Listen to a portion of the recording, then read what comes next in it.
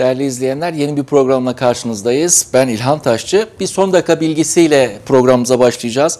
Bakırköy, e, Bakırköy Cumhuriyet Başsavcılığı Atatürk'ün hatırasına alenen hakaret eden Süleyman Yeşilyurt ve Hasan Akar hakkında tutuklamaya yönelik bir yakalama kararı çıkarttılar.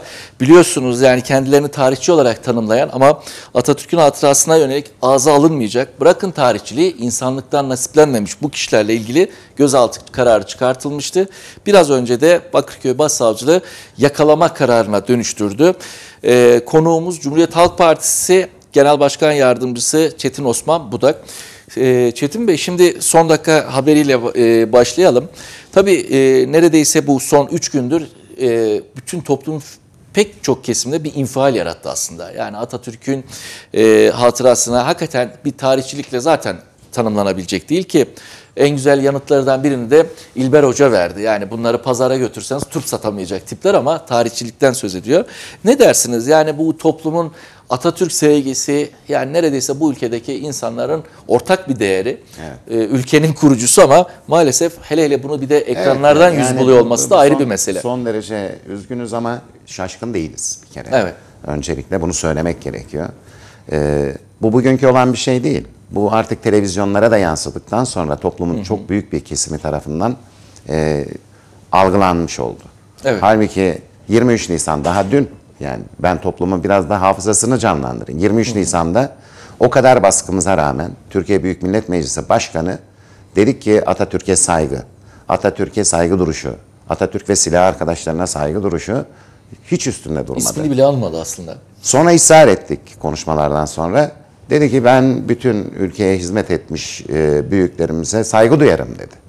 Yani şimdi Türkiye Büyük Millet Meclisi koltuğunda oturmuş bizim e, geçmişte Cumhuriyet'in kurucuları var. Evet. Orada eğer böyle bir zihniyet varsa o zihniyet aşağıya böyle yansır. Hedef belli. Yani Cumhuriyet, Cumhuriyet'in bütün e, kazanımları bunları yok etmek. Yani bu siyasi iktidarın da kafasının arkasında olan bir şey. Çıkıp onların özür dilemesi hiçbir şey ifade etmez.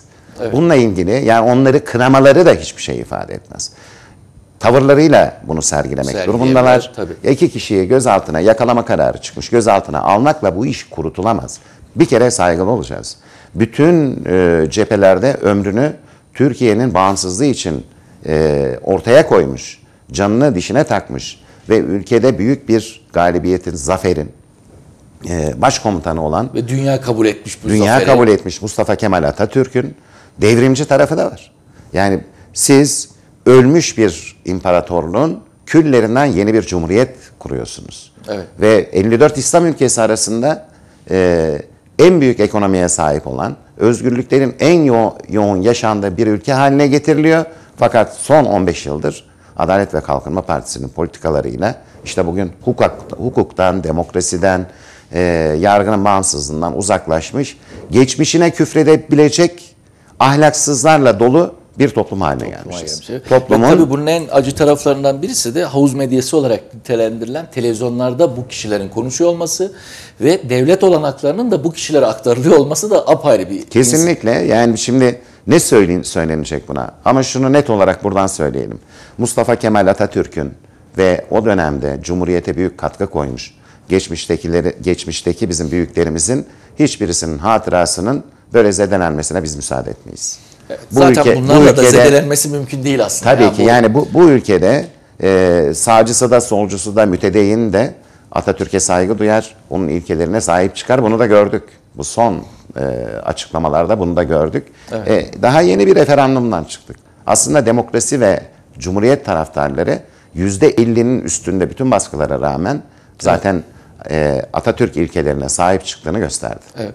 Tabii biz e, yani bakalım sonuçları ne olacak? Yani Süleyman Yeşilyurt ve Hasan Akar'la ilgili de ilginç iddialar da vardı. Şimdi ben televizyon ekranlarında da onu dile getirmek istemiyorum ama ne diyelim o ayıpla onları yüz yüze bırakalım. Toplum evet. nezdinde zaten gereken karşılığı. O ve onlar gibiler diyelim. Ki onlar en azından Bakın ben Türkiye bir... Büyük Millet Meclisi Başkanı'ndan bahsettim. Evet. Onlara cesaret verenlerin kim olduğunu halkımız gayet iyi biliyor artık. Çok net artı. Ee, bakalım Bakırköy Başsavcılığı'nın bu kararı ne zaman uygulanacak? Tabii e, asıl bizim bir başka gündemimiz şu anda ekonomi. Evet. E, Türkiye ekonomisi e, son 15 yıldır ciddi bir çöküş yaşıyor ve giderek bunu artık toplumun farklı kesimleri olarak, yurttaşlar olarak, bireyler olarak hepimiz hissetmeye başladık ama e, dün dikkatimi çekti. E, Başbakan Yardımcısı Nurettin Canıklı'nın bir açıklaması var. Diyor ki kişi başı milli gelir diyor 20 bin dolar olmalı diyor. E, bunu siz mi yapacaksınız Cumhuriyet Halk Partisi olarak? Onu sorayım ya. Kim yapacak? Ya onların 20 bin? elinde tutan mı varmış evet yani? yani 20 bin. Canikli'nin 20 bin temennide bulunuyor. Ekonominin başındaki insanlar artık temenniden öteye geçemiyorlar. 15 yıldır ülkeyi yöneten AKP zihniyeti ülkeyi getirdiği nokta bu. Evet. Ee, ekonomi noktasında getirdiği, demokrasi noktasına, cumhuriyet noktasına getirdiği nokta bu. Yani büyük bir yıkım yaşayan, çürümüşlük yaşayan, ahlaki yönden de, siyasi anlamda da çürümüşlük yaşayan, e, yaşanan dönemlerden geçiyoruz. Şimdi e, ekonomiyle ilgili sadece Canikli'nin açıklaması değil. Daha başkaları da var. Başbakan çıkıp şunu söyleyebiliyor. 2 trilyon dolar 2023'te bizim milli, Milli milli, gelir. gelir. hedefimiz var diyor. Şimdi ya hesap bilmiyorlar ya dayak yememişler diye bir laf var. Evet, Anadolu'da Yani bu şey- şimdi 2 trilyon dolar bugün 856 milyar dolar ki TÜİK bütün rakamları değiştirdi. Ee, yani rakam makyajları yaparak oraya geldi. 800 milyar doların altında bir kere eski hesaplama yöntemleriyle. Şimdi buradan hesaplayın. %12 ile gidin. Ben yaptım, koydum, hesapladım. %12 büyüme her yıl. Ee, büyümeyle 2023 yılında 1.8 trilyon dolar yapıyoruz. %12 mümkün mü? Değil. Değil. Neye dayandırıyorum? Kendi orta vadeli planlarına dayandırıyorum. Kendi orta vadeli planları Onların planına esas Onların almanıza- planlarını esas alıyorum. Yüzde beş büyüme diyor. Şimdi yüzde beş büyümeyi de revize ettiler. Geçen sene yüzde iki nokta dokuz büyüdük. Bu sene de yüzde üç büyürsek öpüp e, başımıza koyacağız. Hatta geçen yılki yüzde iki nokta dokuz büyümeyi de Cumhurbaşkanı da dahil olmak üzere bütün dünyadaki en büyük e, büyüme rakamlarından biri diye satmaya kalktılar. Ayıptır. Çok ayıptır. Yani bu halkın aklıyla dalga geçmektir. Şimdi 2 trilyon dolar gibi bir rakama ulaşmak yerine biz üretim planlamasını nasıl yapacağız? Tarımdan sanayiye kadar. Bunları koymaları lazım. İşsizliği ne yapacaksınız? Evet reform, reform, reform, reform diyoruz. Diyorlar. Yapısal reformları e, yapacağız diyorlar. Sorunları biliyoruz diyorlar. Bugüne kadar tek reform benim bildiğim yok. Varsa açıklasınlar. Sanayi strateji belgeleri koyup ortaya sanayi strateji belgelerinin bir belge koyup ama stratejileri olmadığını gördük. Neden? Şu anda işsizlik rakamları ortada. Dört gençten birisi işsiz. Evet. İşsizlik ne demek biliyor musunuz? Evinize ekmek götürememek. Çorunuz var, çocuğunuz var. O insan ne yapacak? Yani nereye resmi gidecek? rakamlarda bile 4 milyona dayanmış durumda işsiz. Ki resmi E, rakam. Yani iş aramaktan vazgeçenler rakamı da var orada. Resmidir o da. Onlarla ber- beraber 7 milyon gibi işsizimiz var. Bu büyük bir felakettir bir toplum için. Eğer siz işsizliğine iş üretemiyorsanız o zaman o koltukları bırakacaksınız. Yapanlara bırakacaksınız. Bunun çözümleri var. Biz e, seçim bildirgemizde bunları zaten bahsetmiştik. Bir de iktidar mensuplarının bulunduğu koltuklar temenni koltukları değildir, icra koltukları. Kesinlikle. Yani olmalı, yapmalı. E şu anda biliyoruz 9 bin dolar. Nasıl yapacağını anlat. İki katına çıkartmak için hangi tedbirleri alacaksın?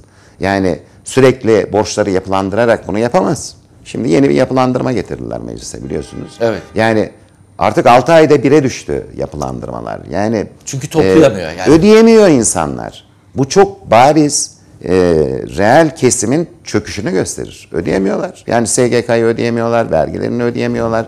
E daha yeni yaptınız, geçen sene getirdiniz. Çok kapsamlı bir af getirdiniz. Şimdi yine af getiriyorsunuz. Yani o af tamam eyvallah. Ödeyebilecek için iyi bir şey olabilir İmkan. ama ödeyemiyor. Niye biliyor musunuz? Zaten yapılandırmayı yaparken üstüne faizini de koyup yapıyor. Yani aslında biraz da kandırmaca var orada. E siz ekonominin çarklarını döndürmeden yapılandırmalarla bu işin ciddiyetini de kaybedersiniz. Ödeyen adam da ödememeye başlayacak. E çünkü 6 ayda bir çıkıyor artık. Senede- çıkıyor zaten. 10. yapılandırma bu. Ayıptır yani 10. yapılandırma ödeyebilecek duruma getirmeleri gerekiyor reel sektörü. Onun için de reformlar gerekiyor. Sayın derseniz sayarım. Var bizde çünkü bunun şeyi. Çözümleri var. Çözümleri var. Yani bizim bildirgemizde bunları anlattık. Merkez Türkiye projesinden toplumun sosyal devlet politikalarına kadar hepsi çözümlenmiş tam bir hükümet programıdır o. Ekonomik hükümet programıdır. Bundan sonra da şimdi o bildirgeyi tekrar toparlıyoruz. Ee, tarımdan yani çiftçi kesiminden Çiftçi. emekçiye kadar bütün e, ülkenin dinamiklerinin tamamen sanayisini de alın bunun içine. Hizmet sektörünü, turizmi falan alın. Bunlarla ilgili çözümlerimizi tekrar bir daha revize ediyoruz şimdi. Yani biz her şeyle iktidara göre. hazırız. Bu böyle gitmez. Bu, bu e, özellikle şunu da ifade etmek lazım. 2014 yılında fiili olarak bu ülkenin başına bir başkan geldi. Evet. Ve tamamen antidemokratik. Tabii onu da soracaktım. Yani şimdi mesela o başkanlık da yani 16 Nisan referandumu süreci de başkanlıkta öyle bir anlatıldı ki hani her derde deva olacakmış gibi, hastalıklara şifa olacakmış gibi, ekonomiye de derman olacakmış gibi bir tablo çiziliyor.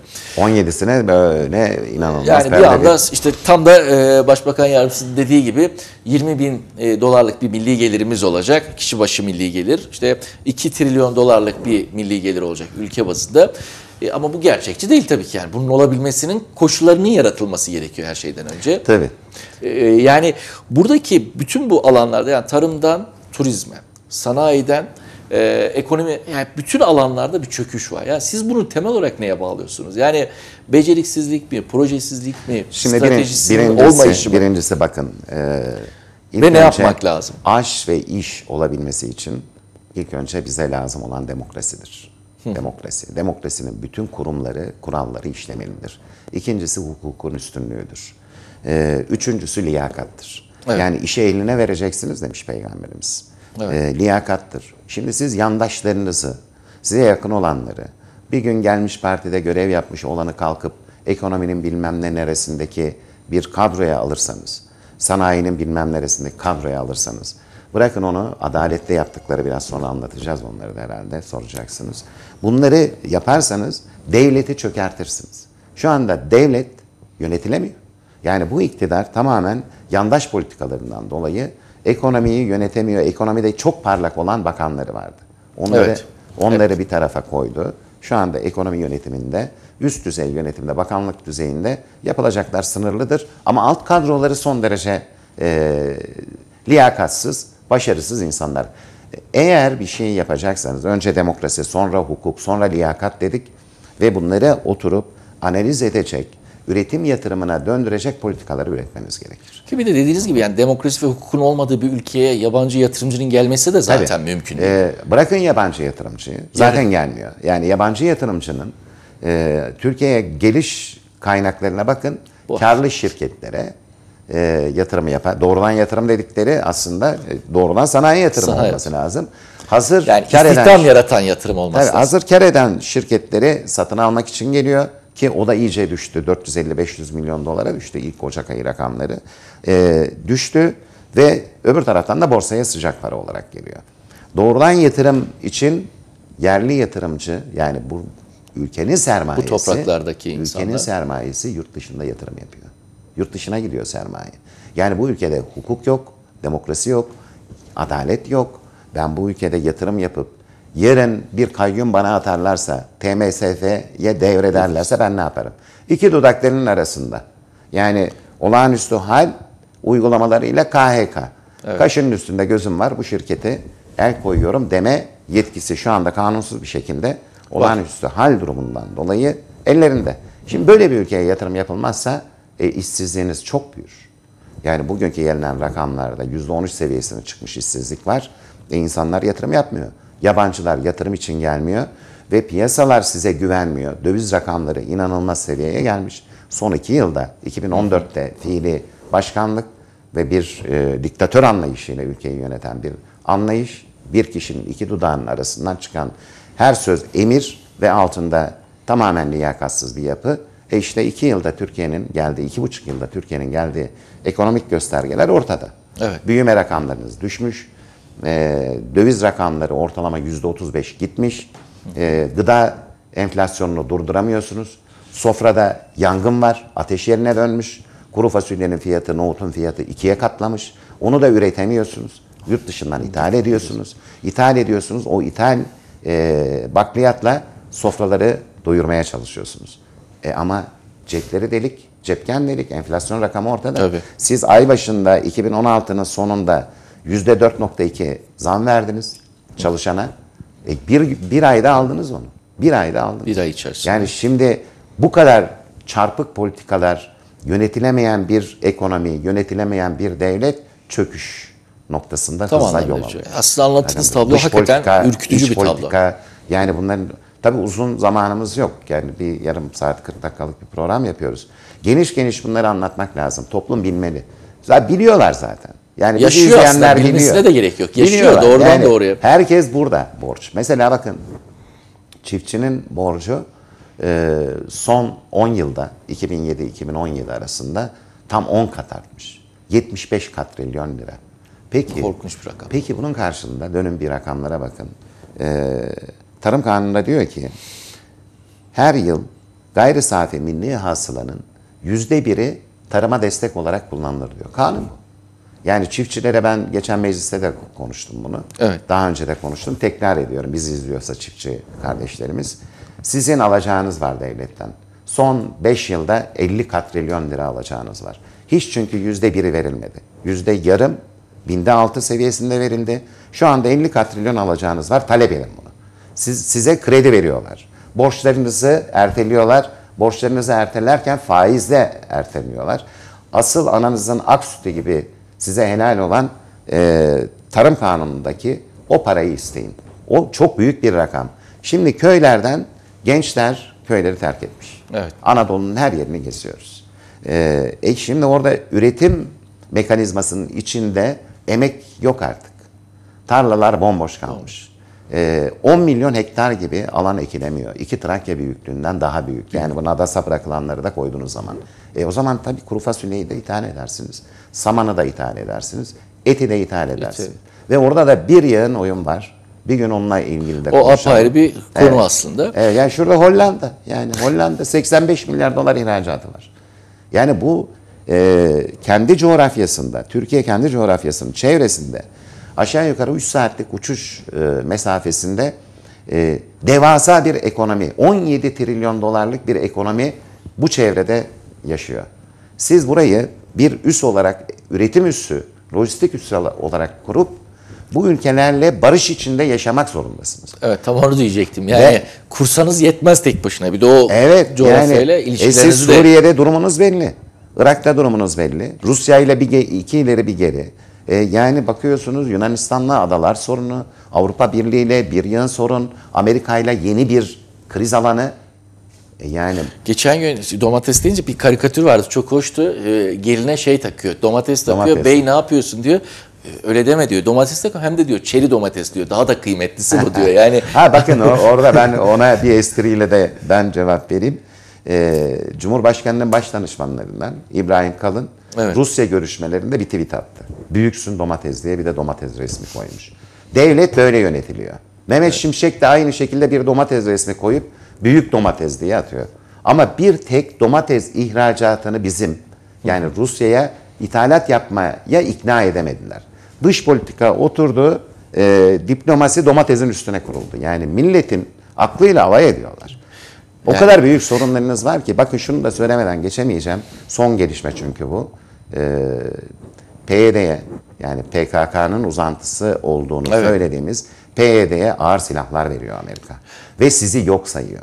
Siz de 16 Mayıs'ta Amerika'ya gidiyorsunuz. Sizi yok sayarak size tehdit oluşturabilecek güçlere siz ağır Silahlar, silahlar ağır veriyorsunuz. silahlar. Tanklar veriyorsunuz, roketler veriyorsunuz, füzeler veriyorsunuz ve onları donatıyorsunuz. Ve oradaki oradaki komutanlar da diyor ki bu geri alınmak üzere değil, sürekli onlarda kalacak. Bu şu demektir. Orada bir devlet kuruluyorlar. Yepyeni bir oluşum Ve demektir. siz bununla ilgili yarım yamalak bir e, açıklamayla geçiştiriyorsunuz. Burada devletler hukukunda eğer size bir şey yapılıyorsa siz de onun karşılığını misliyle verirsiniz. Her zaman söyleniyordu bu. Evet. E Peki yani en basitinden ayağına gitmeyi bir daha gözden geçirmesi lazım. Amerika'ya bu kadar tabii bunun ağır şöyle bir şey var. Şimdi sonra. e, zaten bugün Beyaz Saray'da açıkla, açıkladı. 16 Mayıs'ta Trump'la Sayın Erdoğan bir araya gelecekler. Resmi olarak Beyaz Saray bunu duyurdu bugün. Tabii burada şu aslında birkaç dediğiniz nokta var. Bir de şu var. E, Sayın İbrahim Kalın olsun, Sayın Hakan Fidan olsun zaten şu anda Amerika'dalar. Yani bu 16 Mayıs görüşmesinin ön görüşmelerini yapıyorlar. Bu bile dediğiniz gibi gözden geçirmek için kocaman bir soru işareti, bir değerlendirmeye muhtaç olduğunu gösteriyor. Çünkü sizin kurmay kadronuz bu görüşmenin ön hazırlıklarını yaparken Trump onaylıyor ve YPG ağır silahlar gidecek artık. Evet. Yani aslında diyor ki İster gelirsiniz, ister gelmezsiniz. Biz bildiğimizi okumaya devam ederiz. Aynen. Yani ama, ama siz çok büyük bir ülkesiniz. Bu benim ağrıma gidiyor. yani size böylesine e, bir muameleyi bu halka yaptırmaya sizin hakkınız, haddiniz de yok, hakkınız da yok. Yani Evet. eğer e, Amerika Birleşik Devletleri böyle bir uygulamadan bahsediyorsa siz de onun karşısında büyük devletin yapması gerekeni yapmanız gerekir. Uygulamalarınızı ona göre. E, nedir bunlar? E, incirlik var işte bu. Yani sizin kendi topraklarınızdan e, Suriye, Irak'a oradan uçak kalkıyor. Sizin kendi topraklarınızda. Başlayın bakalım. Yani Evet. eğer eğer bunları e, basiretli bir e, siyasetçi olarak öngöremiyorsanız bu işi yapamıyorsunuz demektir. Ülkenin maalesef. insanların bu kadar yüzünü kızartacak uygulamalardan bir an önce vazgeçin. Çekilmek lazım, değerlendirmek lazım ama yani hükümet kanadını ve sarayın açıklamalarına baktığımızda maalesef gidilecek gibi gözüküyor. Bakalım daha neler olacak. Tabii bir de şu var, e, sizin aynı zamanda seçim bölgeniz. Tabii bir taraftan işte Mayıs ayındayız artık turizm sezonu başladı diyebiliriz. E, Antalya e, valinin aldığı bir karar vardı. Yani işte e, dışarıda alkol yasağı olarak tanımlanan büyük şehirde kafa karışıklığına neden oldu. Siz bu dönem için sadece tabii ki Antalya özelinde değil, Antalya turizmin başkenti ama turizmde ne bekliyorsunuz? Yani bu anlattığınız ekonomik e, etki orayı nasıl yansıyacak ya da bu politikalar oraya nasıl yansıyor? E, alkol yasağını da nasıl düşünüyorsunuz? Çünkü alkol yasağı şey gibi de değil yani sonuçta turizm diyorsunuz. E, Antalya'ya herhalde gün içerisinde sezonda yüzlerce uçak inip kalktığı bir Evet. başkentten söz ediyoruz. Turizm başkentinden söz ediyoruz. Nasıl etkilenir turizm? Şimdi e, bir kere ülkenin e, vitrini Antalya. Evet. Yani bütün dünya oraya gelir. E, Pamfilya'dır eski adı Antalya'nın. Pamfilya şey demek, çok uluslu kent demek. Evet. Yani tarih öncesinde yani 2000 yıl önce, 2500 yıl önce de çok uluslu bir kent Antalya. İşte Aspendos var, Perge var, o var, bu var. Şu anda da öyle. O Antalya'da Ruslar yaşıyor, İngilizler yaşıyor, Almanlar yaşıyor. Ee, dünyanın her yerinden insanlar gelmiş yerleşmişler. Evet. Böyle bir kent. Önce böyle bakacaksınız. Sonra da bir e, kamu yöneticisi, bir e, idareci çıkıp diyebiliyor ki yani Antalya'da açık alanlarda alkolü yasakladım kardeşim. Ya bu bu kente 12 milyon turist geliyor. Bu 12 milyon turist Antalya'ya aslında bir güvenlik güvenliğinden dolayı iki ülkede hala demokrasi var diye geliyor. Bu çok son derece değerli bir şeydir. Evet. Bunu siz değerlendirmek yerine böyle e, olmadık yasaklarla algıyı öyle bir kötü yönetiyorsunuz ki bu haber aynı gün iki dakika sonra Bütün dünya. Avrupa'daki bütün basın kaynaklarında vardı. Bütün basın yayın organlarında, televizyonlarda vardı. Bir kere sorumluluk ister yaptığınız görevler. Antalya gibi e, dünyaya açılan, sizi çok iyi temsil eden bir yerde böyle bir uygulamanın olmayacağını bilmeleri gerekirdi. Geri adım attılar mı attılar. Ama olmaz yani Artık, bunu siz anladım. kullanamazsınız. Böyle bir dili, böyle bir jargonu kullanamazsınız. Bir. iki turizm deyince aklıma benim sadece işte oteller, otellere gelen turistler falan gelmiyor. Yani o büyük bir dinamik. Ekonomideki en büyük dinamiklerden bir tanesi hatta en baştaki sebep cari açık veren bir ülkeyiz biz. Evet. Çok büyük cari açık veren her yıl her ay bu ülkeye dışarıdan 3,5-4 milyar dolar para gelmesi gerekiyor. Doğrudan döviz girmesi gerekiyor. E ana kaynakta turizm. Turizm. 35 milyar dolara kadar çıkmıştık. Geçen yıl 10 milyar dolar kaybımız var. Bu yıl geçen seneye göre kaybımız devam ediyor. Bakın ne oluyor biliyor musunuz? Geçen sene fiyatlar yani ortalama geceleme fiyatları e, bir 100 dolar aşağı gitmişti 2016'da. Evet. Ona rağmen sayı rakam 6 milyon eksi yazmıştı. 5 milyon civarında eksi yazmıştı. Sadece Antalya'da. Türkiye genelinde çok daha büyük Çok rakam. daha yüksek. 14-15 milyondu. Şimdi bu yıl 2016'ya göre daha büyük bir erime var. 1 Ocak 31 Mart arasındaki gelirlerin e, konaklamaya oranı %17 eksilmiş. Yani 100 dolar daha kaybedilmiş. Fiyatı indiriyoruz gene turist Yine gelmiyor. şey Fiyatı tutamıyorsunuz. indiriyoruz gene turist gelmiyor. Peki neyi etkiliyor? Demek ki fiyatla ilgili bir sorun değil bu. Değil. Şimdi neyi etkiliyor? Bir, emekçi tarafını. Sadece Antalya değil. İstanbul, Antalya, İzmir, Muğla, turizm alan bütün bölgeler. Aydın bunun içinde. E, 500 bin kişi işsiz kaldı. 54 sektörden bahsediyoruz. Hayvancılık var bunun içinde. Tarım var. Ee, inşaat sektörü var. Aklınıza ne geliyorsa. Kuyum sektörü var, işte giyim, tekstil, Yumurtasından sütüne, etine, domatesine kadar tüketilen bir alan. Yani bu e, aslında bir anlamda da doğrudan ihracat sayılır. Tabii. Bunlar yapısını istedik geçmişte de. Niye? Çünkü bir turist sadece Antalya'da bir domates yese hesap basit.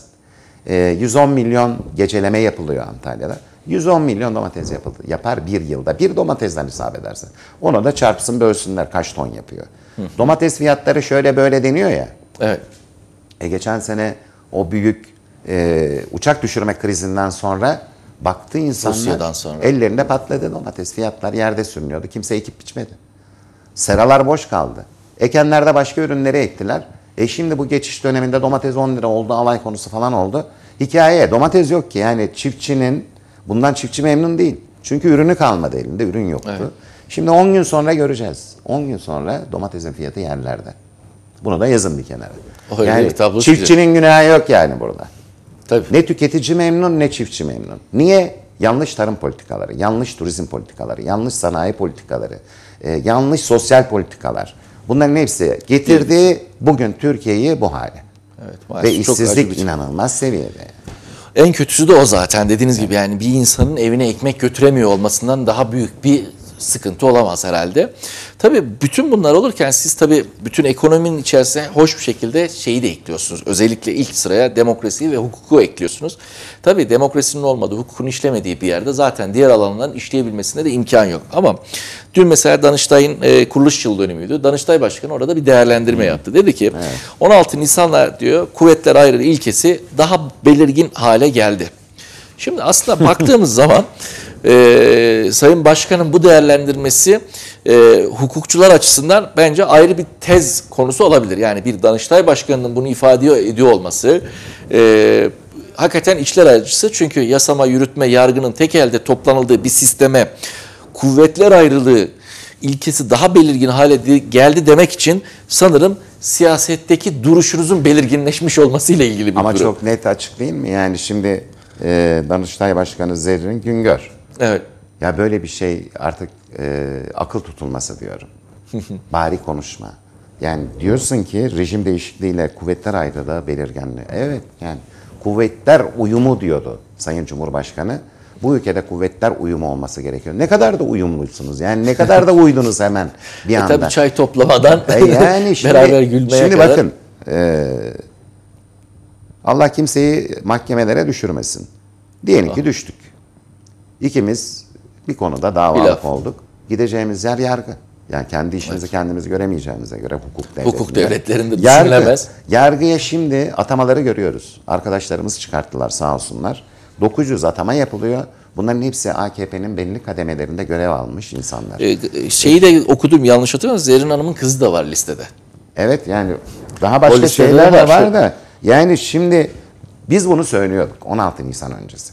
Yasama yargı yürütme uyumu demek bir kişinin tek başına dikta rejimi içerisinde ülkeyi yönetmesi demektir. Evet. Eğer siz yargıda siyasal yapıyı kendinize göre oluşturursanız o ülkede o siyasi yapının içinde olmayanlara adaleti kim dağıtacak?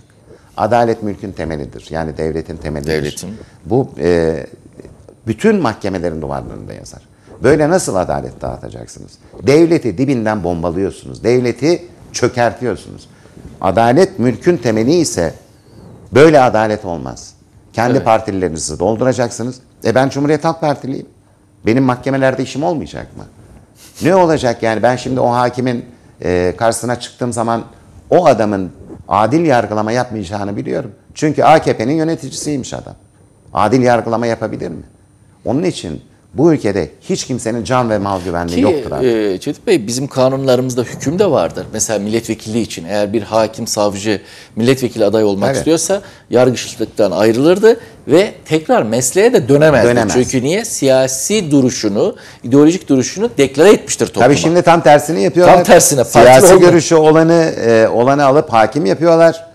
Yani onun artık siyasi bir kimlikle orada o iş yani il yapacağını ilçe biliyorlar. örgütüne kaydeder gibi hakim Bakın, savcı kaydı yapılıyor. YSK seçimleri geliyor. 21 aday belirlendi. 21 adayın içinde önemli bir bölümü AKP'de bazı yerlerde görev yapmış. Kimi Beyoğlu Belediye Başkan Yardımcılığı yapmış. Kimisi İstanbul'da AKP yönetimlerinde bulunmuş. Evet. 21 aday 21 aday var. Bunlardan 7'si seçilecek. MHP'nin diyetinin de burada kısmen ödendiğini, ileride neler ödeneceğini neler de göreceğiz. olacak, Bir MHP'li, e, MHP'nin de MYK'sındaki bir isim GSK'ya aday olarak gösterildi şu anda. Şimdi GSK hakimlerin ve savcıların bütün özlük haklarını, tayinlerini, terfilerini ve eğer görevden alınacaksa görevden almalarına karar veren yüksek mahkemedir. Evet. Yüksek mahkeme eğer bir, bir partinin yandaşları tarafından ya da partililer tarafından doldurulursa Türkiye'de adalet Adaletten bitmiştir. söz etmek Bunun mümkün için mücadele etmek gerekiyor. Bugünkü mücadele bundan sonra yapılacak ilk seçime e, bunları halkımıza, vatandaşlarımıza anlatmakla geçecek. Çünkü 16 Nisan'a kadar biz bunları söyledik. Dedik ki e, camiye, adliyeye ve kışlaya siyaseti sokmayın. Bakın camiye soktular. Şimdi adliyeyi ağzına kadar dolduruyorlar ve ordunun durumu ortada Ortada hocam. ve ateş çemberi içindeyiz. Ee, bu buradan hiçbir şey çıkmaz. Buradan halkımıza refah çıkmaz, mutluluk çıkmaz, e, işsizlere iş çıkmaz, işi olmayanlara hiçbir şekilde bir faydası olmayan bir sonuçla karşı karşı. Umarız buradan dönerler diyelim. Çetin Bey e, sürenin de sonuna geldik. Çabuk Ee, evet biraz hızlı ilerledik. Ağzınıza sağlık. Hani zaman ayırdınız geldiniz. Onun için teşekkür ediyorum ama dediğiniz gibi hani bu ekonomik çöküşü belki de bir önümüzdeki programlarda ana başlıklar daha spesifik başlıklar halinde değerlenir. Çok teşekkür Tabii ediyoruz değerli. sadece bir gün turizm yapalım. Turizm yapalım Bir gün tarım yapalım. Olur. Mümkün Ağzınıza sağlık. Çok ayıralım. teşekkür Çok çok ediyoruz. teşekkür ediyorum Biz ben teşekkür ederiz. Değerli izleyenler bu hafta da programın sonuna geldik. Ee, Çetin Bey'in anlattığı gibi aslında durum gerçekten e, çok vahim ama hiçbir zaman umutsuz değil diyelim. Gelecek programda görüşünceye kadar hoşçakalın.